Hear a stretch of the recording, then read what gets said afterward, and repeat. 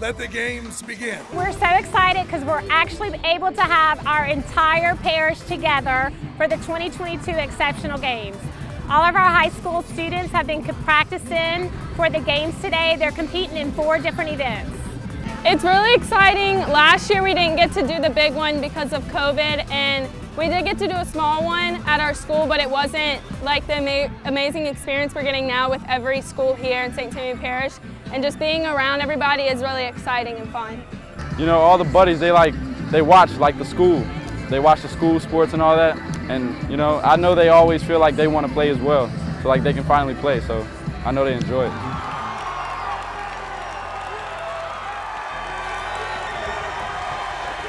It makes them so happy and seeing them makes me happy and I love honestly just like helping them and like seeing them like having so much fun here and like just having fun with everybody and like their smile on their faces makes me really happy.